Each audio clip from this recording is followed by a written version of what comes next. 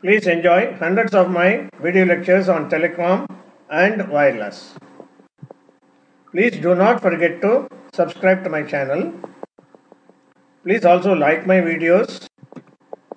Please share my channel with your friends and colleagues. Thank you. In this chapter, we'll look at power control in CDMA 2000 systems. Specifically, we'll look at how does power control work in CDMA 2000, why power control first of all, and what are the power control structures that are available, the various types of power control, and in the reverse link, open loop power control and closed loop power control, and in the forward link, open loop power control and closed loop power control, and the summary of all these power control systems, and also the various factors that affect power control's performance. Let's move on to power control in CDMA 2000 in detail. Okay, let us look at various aspects of a typical CDMA power control. First of all, why power control? Look at the figure and the various texts that appear on your screen now. Power control refers to the strategies or techniques required in order to adjust, correct and manage the power from the mobile station to the base station in both directions, both uplink and downlink in a very efficient manner. This is power control. CDMA as we all know is an interference limited system. All the mobiles transmit in the same frequency. Therefore, internal interference is generated among the people who are having their mobiles active. And this interference actually plays a very critical role in determining the system capacity and the voice quality. More mobiles active means more interference and voice quality deteriorates. Therefore, any CDMA system is limited by the interference which directly is proportional to the number of people active. That means system capacity is limited by the interference that is generated. Okay. If all the mobiles transmit at the same power levels, then the strong interfering signal from a mobile which is very close to the base station may mask out a weak desired signal from a mobile which is far away from the base station. A desired signal from a far off mobile is totally masked by an unwanted mobile which is close to the base station. This is called near far problem and we'll see more about this in the next few slides. The next aspect is due to non-coherent detection at the base station, interference on the reverse link is more critical than the interference in the forward link. Therefore, the reverse link power control is much more essential in a CDMA system.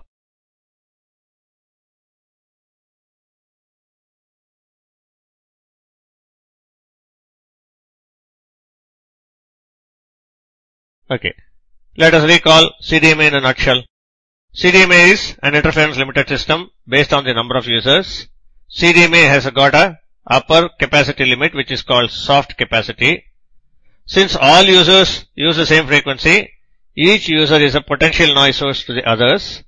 The noise contributed by all users adds up cumulatively and this will restrict how many users can use this system with an acceptable quality or acceptable signal to noise ratio. Precise power control therefore is very critical in CDMA communications. Now let us look at the new text box that is appearing on the screen. Now why power control? Power control is needed to counter near and far end interference and fading. Near and far end is also known as 1 by R power 4 attenuation. Now what is near and far end problem? Refer to this figure. For example, if user A is 1 kilometer away from the base station and user B is 4 kilometers away from the base station, the power received at the base station from user A is 4 power 4 that is equal to 256 times or 24 dB stronger than that of the signal received from user B.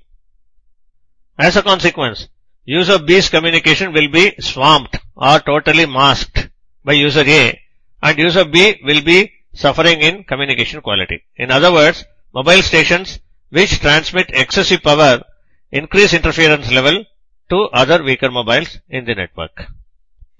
This is near and far end problem. This follows 1 by R power 4 law.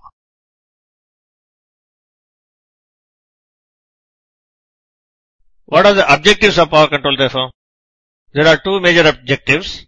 The goal is to keep each mobile station at the absolute minimum power level necessary, neither more nor less, to ensure acceptable service quality in the entire network.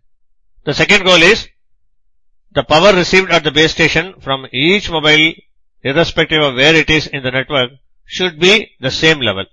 Why is it required? If the signals received from various mobiles in the network are received at the base station at the same level, obviously there is a minimization of signal to interference ratio. These are the two specific goals of power control mechanism. Let us look at the new visuals that are on your screen now. For example, if any rogue mobile transmits at such a high power, then another mobile nearby gets flooded with this rogue's noise, like a violin getting violent in a symphony, and the symphony is totally lost. Now what happens? All efforts of recovering respective signals may become futile. Therefore, a sort of power democracy is the objective where every mobile gets a chance to achieve uniform signal to noise ratio. That is, the mobiles transmit at just adequate power, neither more nor less. Let us look at the benefits of the power control.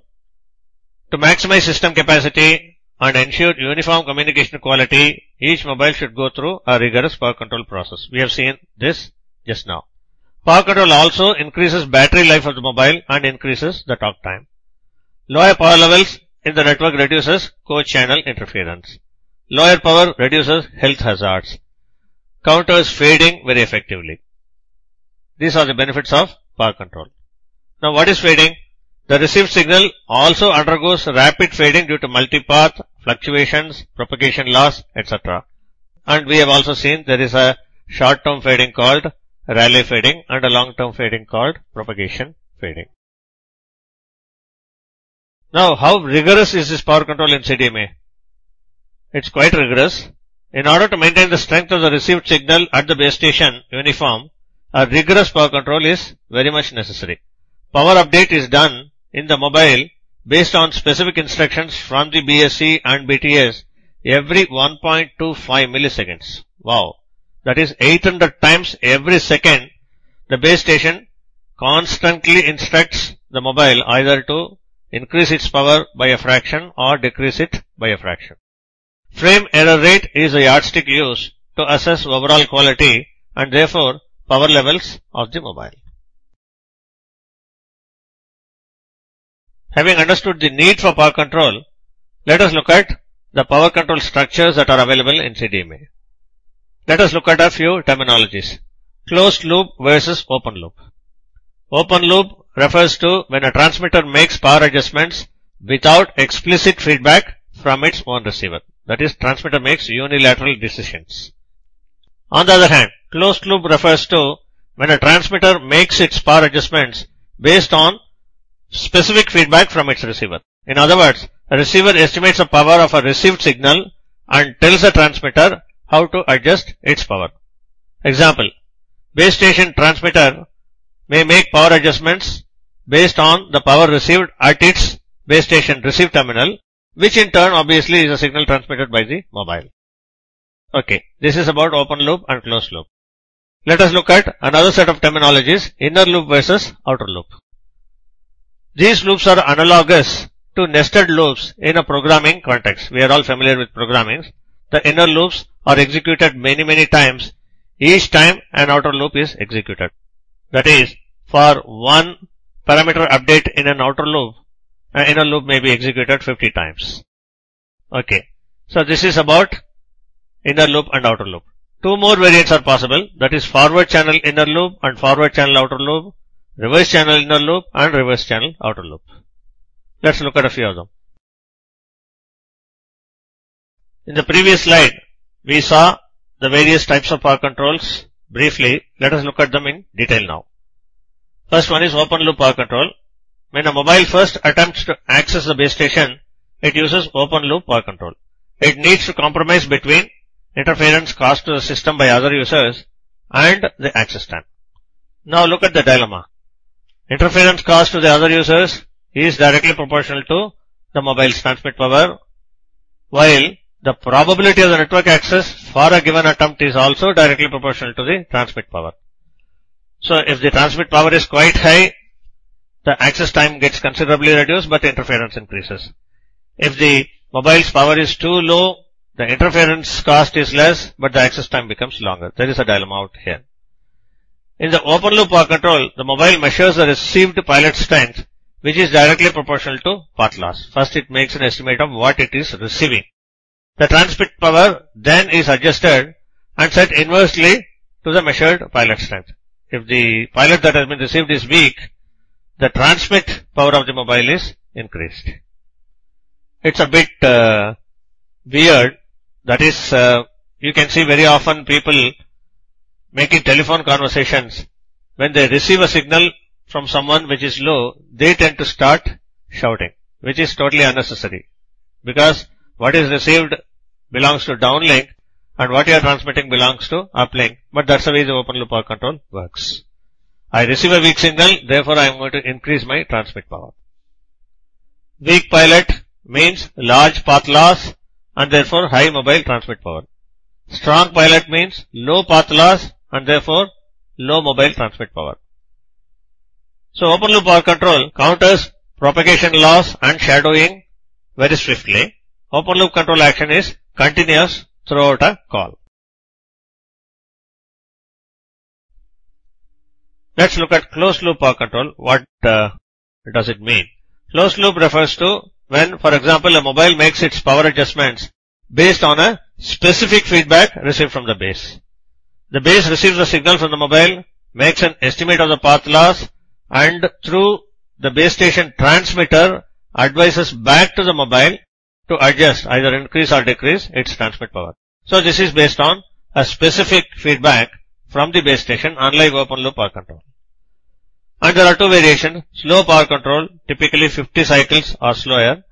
Slow power control is based on feedback of frame error rate performance. If the frame error rates are quite low at the base station controller, that means the signal quality is excellent, therefore the mobile is asked to reduce its power and vice versa. If the frame rate is very poor, that means signal quality is bad and therefore mobile should increase its transmit power. This is how slow power control works. The transmitter keeps adjusting its power levels in order to keep frame error rate at a desired level.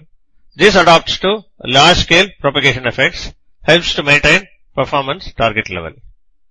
This loop is very slow, 50 cycles. The fastest it can feedback information is once per every frame. That is frame error indication. Let us look at another variant that is fast loop power control. This happens quite fast at 800 cycles or even faster. So how does it work? The mobile receiver for example measures EB by I naught and compares that to a predetermined threshold. If the measured value is less than the threshold, transmit power is increased and if the measured value is greater than the threshold, the transmit power will be decreased.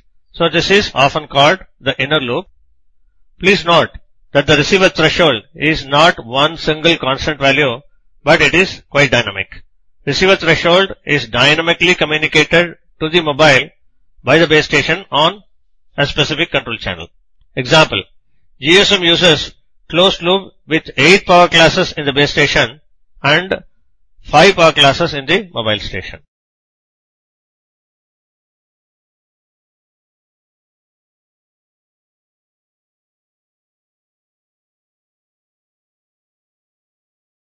Let us look at inner loop versus outer loop. These loops as we said earlier are analogous to nested loops in programming context. The inner loops are executed many times. Each time an outer loop is executed. There are again two parts to fast closed loop power control. One is inner loop control and the other one is outer loop control. So what is inner loop control? These are generally fast loops. The inner loop control works on smaller time scale that is 1.25 milliseconds and instructs the transmitter to change its transmit power in order to equalize the received power.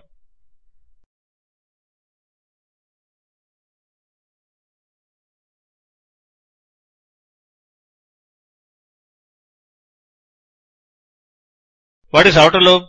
This is generally a slow loop. The outer loop works on a slightly longer time scale 20 milliseconds and adjusts the inner loop target in order to achieve a performance specification.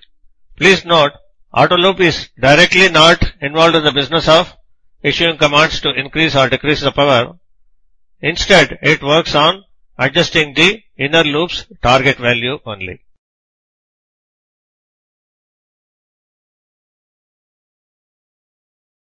Hi guys, hope you have enjoyed this video.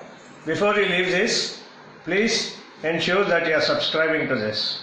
Also, please do like these videos and share it amongst your friends and colleagues. There are plenty of other videos and I hope you will be able to find time to browse through all these things. Thank you.